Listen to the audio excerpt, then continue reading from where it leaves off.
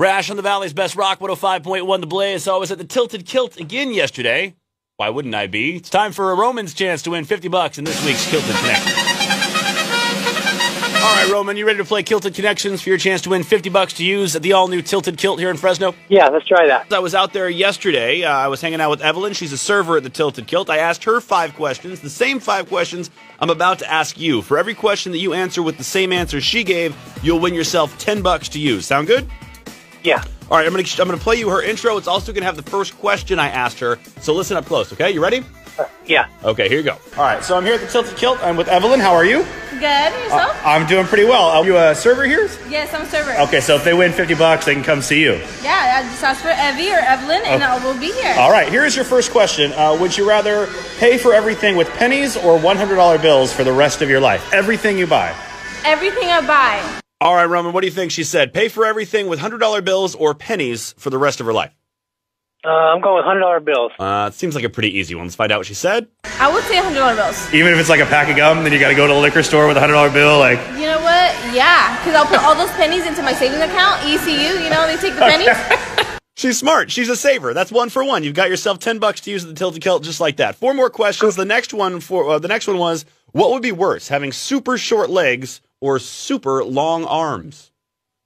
Uh, we'll go with uh, short legs. Short legs. Let's find out. oh my goodness. Um, I think super short legs, the long arms, you know, you can just accidentally like slap somebody like from far away. You don't Sorry. even get, get close to them. That's a good answer. That's you lose control of them. That's true. That's two for two, and she's also in favor of slapping people from a distance. That's twenty bucks you've got so far. Uh, all right. Uh, the next one was: Would she rather have a pet dinosaur or a pet dragon? Roman, what do you think she said?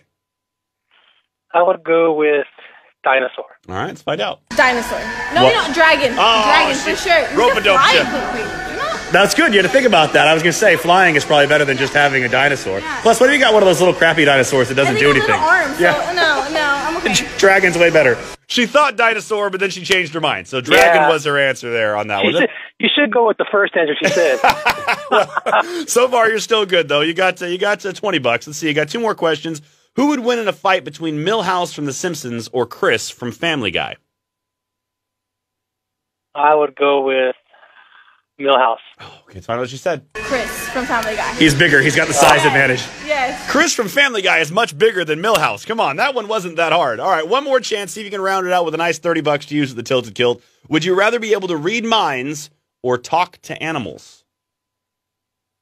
I would say talk to animals. All right, let's find out. Read minds. Ah. Why? Oh. Just so I know what they're thinking. So I have, you know, like my next thing that's gonna come out. See, I don't want to know what people are thinking. I'd rather just, I'd rather talk to the animals about people rather than have to know But what they if really the thought of animals are talking bad about you, and they're still gonna tell you like That's that's true. That's true. What if your dog hates you? That would be bad. And bad. he's like, I see you, I hear your farts, and they smell. Like you don't know. Well, Evelyn was a good team player. You still won yourself uh, 20 bucks there, so not so bad, Roman, at the Tilted Kilt. You can go down there and grab yourself something to eat uh, and say hi to the crew out there, all right? Cool. Thank you. If you haven't checked it out yet, well, you need to. Uh, the Tilted Kilt, we'll be there on Tuesday for St. Patrick's Day. Uh, lots of green beer, but if green beer is not your thing, don't worry. They have 60 beers on tap. Great food, good times. Tilted Kilt here in Fresno at Shaw on Highway 41, just down the road from Fresno State.